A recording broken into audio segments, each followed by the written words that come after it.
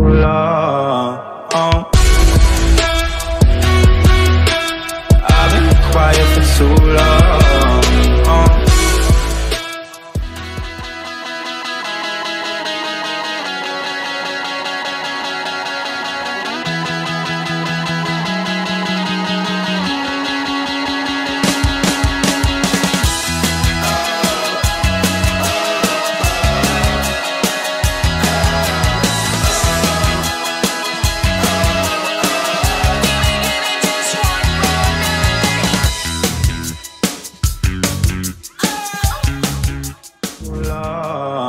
on.